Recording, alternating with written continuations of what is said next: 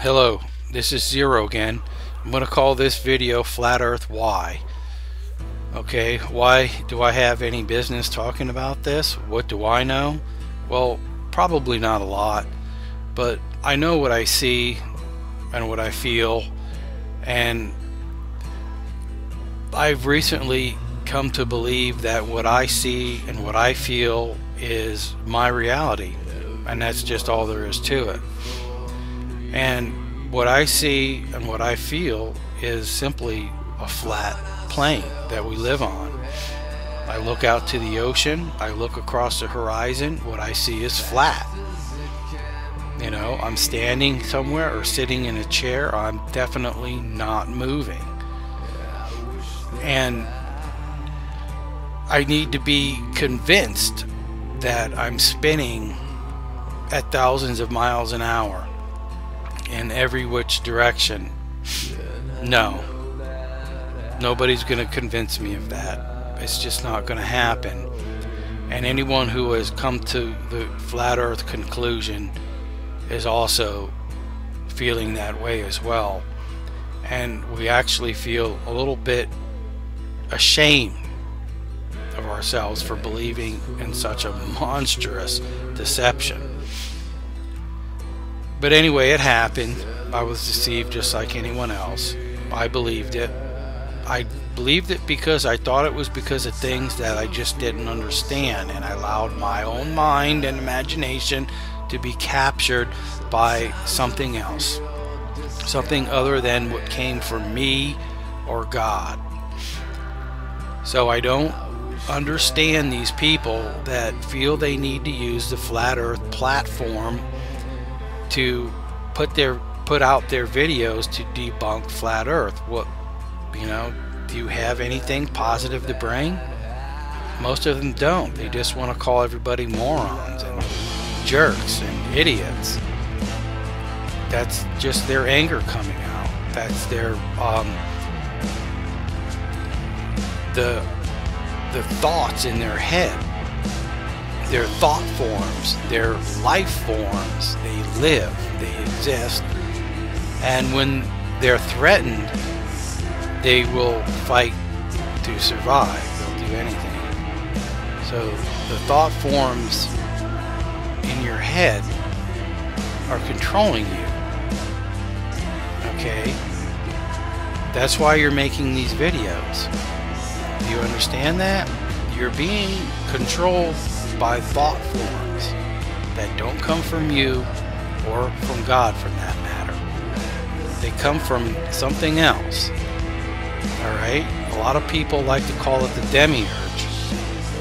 But in a, in a sense, we are demiurgic ourselves because we have our mind, we have our imagination, and we have been put here to create.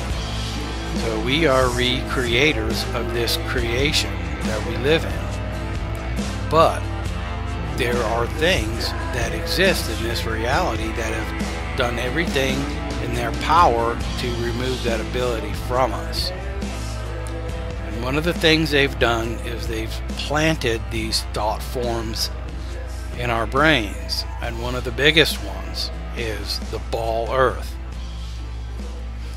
and it's a horrible thing to get over okay?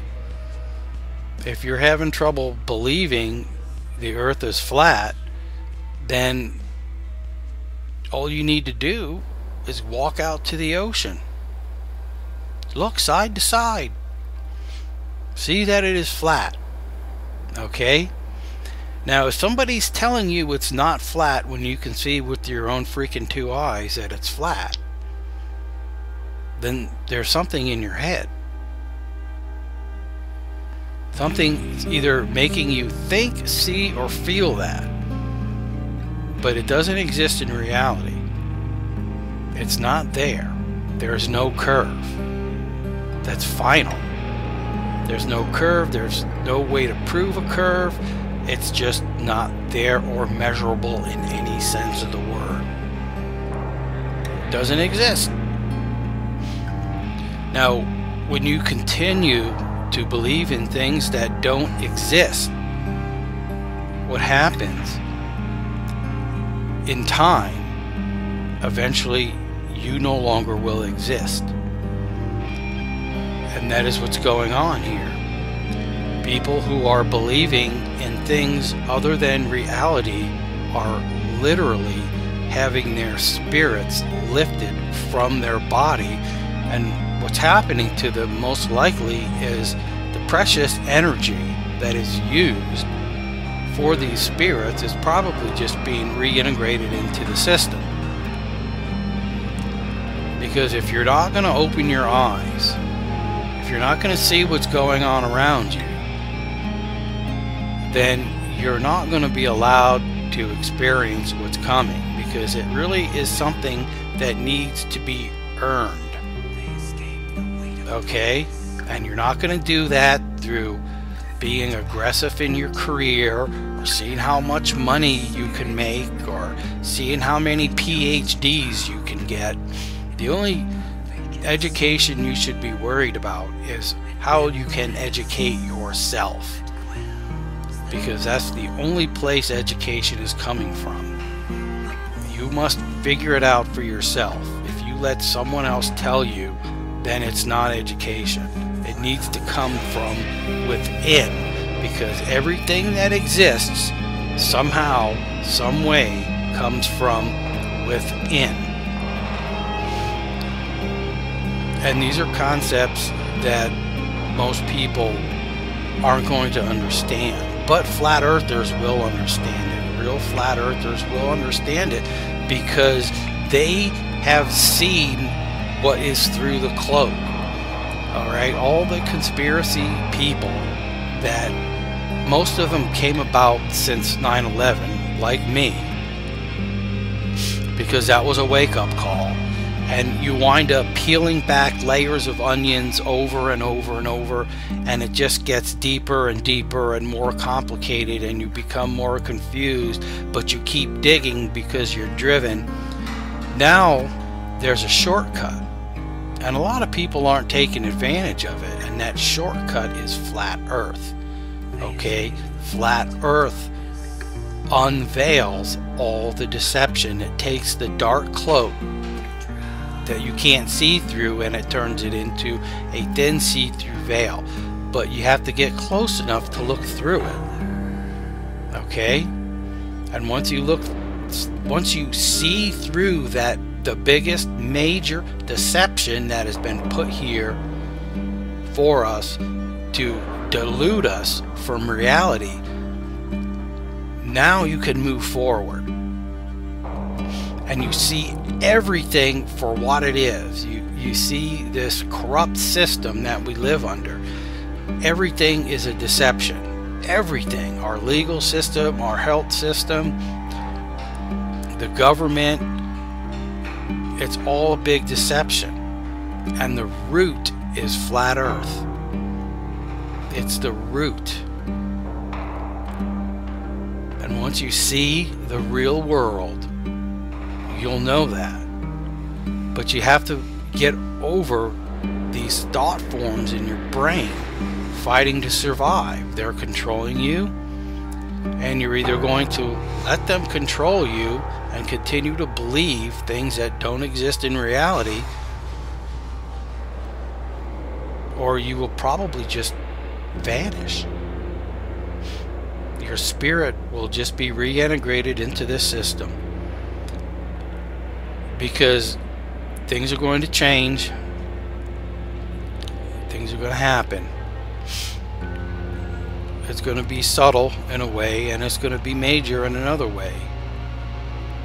But we need to work on this for ourselves.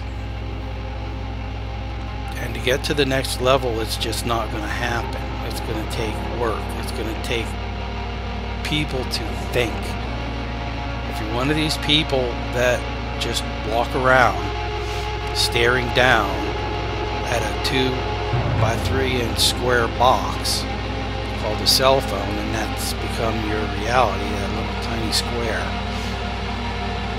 then there's A, either no hope for you, or B, you've already been removed. Now understand that you probably have to watch my last video. I'll explain that a little better but you have to kind of listen because I really don't explain anything that well. I only can try. But anyway, I'm hoping that 2016 does bring us to a, another level, but I really would like to see us get over this hump. You know, people just coming out and making YouTube videos and calling everybody morons and idiots. Okay, I, I know the programming is hard to break. I know it is. I didn't want to see it. My favorite thing to do is to watch science fiction programs and you know, it was my dream and my imagination. No, it wasn't. It was somebody else's. Okay? And all that time I wasted my imagination on something that cannot exist. You waste your imagination on something that cannot exist, that is a true waste of imagination because it will never relate into anything that is created. I believe that's what the bottom line is. We may be in creation school. I don't know how many of us will make it to graduation day, but probably not many. Mean, in the sense that there are billions here, I don't think there will be billions that will get to the end of this. I think it'll be more like millions. Okay, that's all I have to say. Thank you for listening. I'm glad you got to the end of this video.